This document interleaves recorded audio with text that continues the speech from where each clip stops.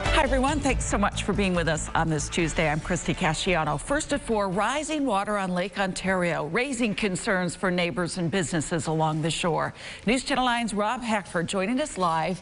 He's in Greece, where the international body that monitors the lake's level met today. Rob, what have you found out?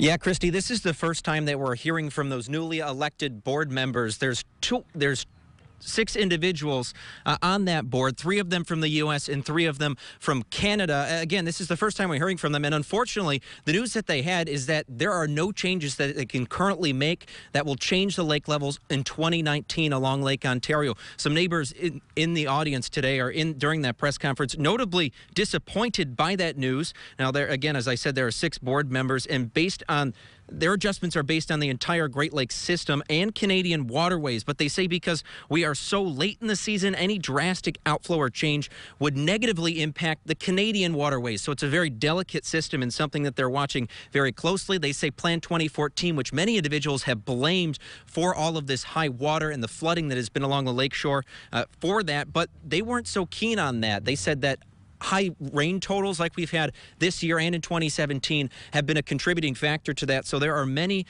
angles that they are looking at this problem and hoping to address them in the coming years. Again, we've seen the damage along the lakeshore in Fair Haven. The Deputy Mayor of Fair Haven was here today, and we'll be hearing from him at 5 o'clock, as well as the village mayor at Sodus Point. Both those individuals addressing those IJC board members, and we'll have more from them coming up. Rob Hackford live in the town of Greece where there's lots of worry today about the high lake levels there. Rob, thank you.